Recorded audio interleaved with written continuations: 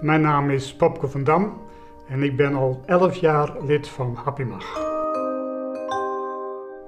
In Bodrum kan men prachtige excursies maken, uitstapjes naar de dichtstbijzijnde ruïnes. Ik ben vooral geïnteresseerd in vreemde landen en nieuwe vreemde culturen.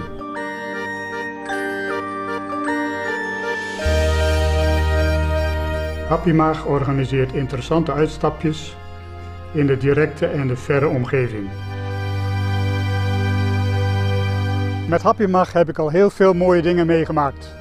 Men hoeft echt geen tweede huis te hebben, want hier met Happymag onder een perfecte leiding kan men alles beleven en meemaken.